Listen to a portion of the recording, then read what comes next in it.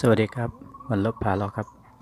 วันนี้พาท่านผู้ชมทุกท่านมาเยี่ยมชม การเปลี่ยนเวรของทหารที่เฝ้าสุสานดรสุญญาเซนที่ตาชีครับทาหยวน ที่สุสานแห่งนี้จะมีทหารยามสองนายที่ยืนเฝ้าหน้าสุสาน และจะมีการเปลี่ยนเวรกันทุกๆหนึ่งชั่วโมง โดยจะมีนายทหารที่เป็นหัวหน้าเป็นผู้เดินนำมาหนึ่งนาย